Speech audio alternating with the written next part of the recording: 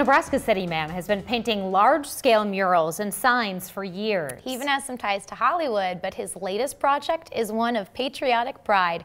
We went to Otoe County this morning to check it out. A ladder, a little paint, an appreciation of America's history. My name is Kent Schwartz. I live here in Nebraska City and this is in honor of the veterans. A Columbus native, longtime painter, Ken Schwartz, has painted for Omaha's Durham Museum and Hollywood movies like Teen Wolf and Bachelor Party. But this project in Nebraska City is his most patriotic. From the Revolutionary War to Afghanistan, his portraits of veterans along 8th and Central in downtown Nebraska City will last for decades to come.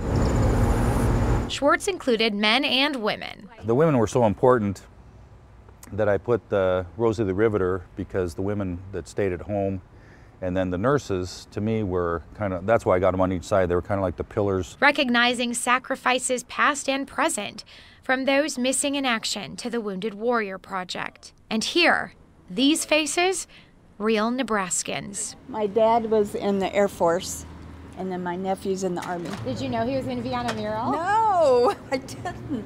Something of a surprise to even those who were portrayed, an honor for those on the wall, their families, and the man painting it. It's really a neat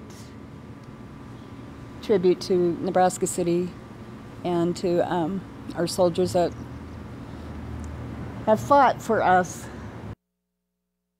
so there's still a little bit of ways to go, but you can see yeah. just kind of the finishing touches. So the city is going to be dedicating this mural on the building, public ceremony on Veterans Day. Oh, that's great. And it really is just such a, an amazing tribute that people can walk by and see and appreciate. Yeah, and it's some of the folks that live in their town, their pictures and everything. Awesome.